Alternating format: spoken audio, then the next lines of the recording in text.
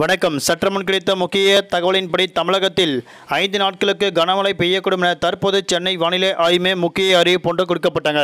இதன் காரணமாக அடுத்த ஐந்து நாட்களுக்கு எந்தெந்த மாவட்டங்களில் இடியுடன் கூடிய கனமழை பெய்யக்கூடும் எந்தெந்த மாவட்டங்களில் காற்றின் திசை வேகம் அதிகமாக இருக்கக்கூடும். எல்லாமே இப்போ நம்ம ப்ரீஃபாக பார்த்தலாம் மறக்காமல் ஸ்கிப் பண்ணாமல் பாருங்க. உங்களுக்கு மழை பற்றி முக்கியமான விவரங்கள் உடனுக்குடன் துல்லியமாக தெரிந்து கொள்ள நம்மளோட சேனலை கீழே இருக்க ரெக்க பட்டனுக்கு பண்ணி சப் பண்ணிக்கோ. பக்கத்தில் பெல் பட்டனை கிளிக் பண்ணிக்கோ.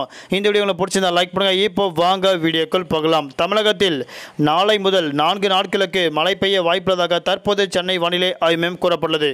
இது குறித்து சென்னை வானிலை ஆய்வு மையம் இயக்குனர் தற்போது புதிய அறிவிப்பு வெளியிட்டுள்ளார். அதன்படி தமிழக பகுதிகளின் மேல் நிலவும் வளிமண்டல கீழடுக்கு சுழற்சி மற்றும் வெப்பசலனம் காரணமாக தமிழகத்தில் இன்றைய நாட்கள் தமிழகம் புதுவை மற்றும் காரைக்கால் ஆகிய பகுதியில் ஒரு சில இடங்கள் இடி மின்னலக்கூடிய லேசன முதல் மிதமான மழை பெய்யக்கூடும். நாளை தென் தமிழகம் சேலம் நாமக்கல் கோயம்புத்தூர் திருப்பூர் மற்றும் தர்மபுரி ஆகிய மாவட்டங்கள் லேசான முதல் மிதமான மழை பெய்யக்கூடும். வரும் இருபத்தி நாலாம் தேதியான அன்று மேற்கு தொடர்ச்சி மலைப்பகுதி மாவட்டங்கள் மற்றும் அதனையொட்டிய மாவட்டங்கள் சேலம் நாமக்கல் தர்மபுரி கள்ளக்குறிச்சி டெல்டா மாவட்டங்கள் மற்றும் அதனையொட்டிய மாவட்டங்கள் மற்றும் காரைக்கால் ஆகிய பகுதியில் ஒரு சிலங்கள் லேசான முதல் மிதமான மழை பெய்யக்கூடும்.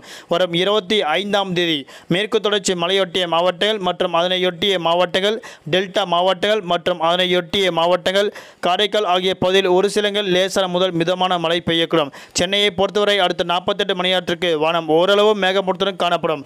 அதிகபட்ச வெப்பநிலை முப்பத்தி ஆறு முதல் குறைந்தபட்ச வெப்பநிலை இருபத்தி எட்டு டிகிரி செல்சியஸ் இருக்கக்கூடும் என தெரிவிக்கப்பட்டுள்ளது. அதே போன்று மீனவர்களுக்கான எந்த விதமான எச்சரிக்கையும் இல்லை என கூறப்பட்டுள்ளது. தமிழக மக்களுக்கு தற்போது மகிழ்ச்சி தரும் செய்தி என்னவென்றால் மாணவர்களுக்கு வெயிலின் தாக்கம் காரணமாக தற்போது சனிக்கிழமை நாட்கள் விடுமுறை அளிக்கப்படலாமான என ஆலோசனை கூட்டங்களில் பரவலாக பேசப்பட உள்ளனர். தற்போது நிலவரப்படி ஆலோசனை கூட்டங்கள் பேசிக்கொண்டு வருவதால் அதிகாரப்பூர்வ அறிவிப்பு விரைவில் வெளியாகும் என எதிர்பார்க்கப்படுகிறது. நன்றி வணக்கம்.